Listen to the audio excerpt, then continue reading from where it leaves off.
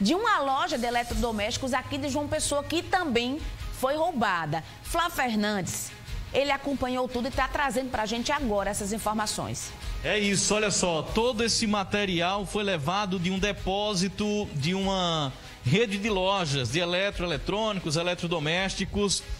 O depósito fica aqui na Grande João Pessoa e o roubo aconteceu no último domingo. Acontece que a polícia militar recebeu a informação que todo esse material estaria em uma residência no bairro do Grotão. E ao chegar lá, constatou o que de fato a denúncia dizia. Olha só, um aparelho televisor aqui de 65 polegadas, outro aparelho é, de 50 polegadas, outro aparelho de 42 polegadas, além deste micro-ondas e duas cadeiras de madeira.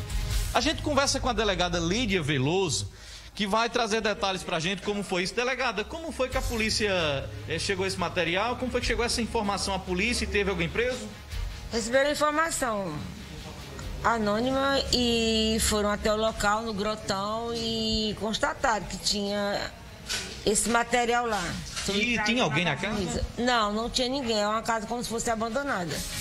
No momento não apareceu ninguém também. Não apareceu ninguém, só pegaram o material e trouxeram até aqui. A gente ouviu o pessoal e liberou. A polícia conta se alguns vizinhos é, viram alguma coisa?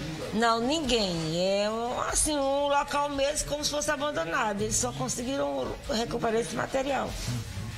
Ok, doutora, muito obrigado. Tá aí, a polícia vai continuar trabalhando agora para identificar os autores deste roubo lá no depósito desta rede de lojas e é, agora todo esse material será devolvido ao estabelecimento. A casa fica localizada no bairro do Grotão, Rua Nossa Senhora do Rosário. A gente não vai dizer o número, mas vai pedir a colaboração da população. Você que vê o movimento aí nesta casa, você que ligou para a polícia dando conta de todo esse material, ajude agora a identificar os suspeitos que estavam armazenando esse material eh, na casa que fica no bairro do Grotão. Tá aqui uma TV de 65 polegadas, uma de 50, outra de 42, duas cadeiras e um forno micro-ondas.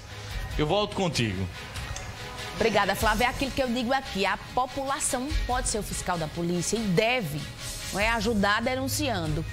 Um abraço para a doutora Lídia Veloso, a delegada da Pistola Rosa, uma das delegadas mais competentes do nosso estado, além de ter um coração gigante. Deixa eu mostrar aqui o zap da Jaça Interação.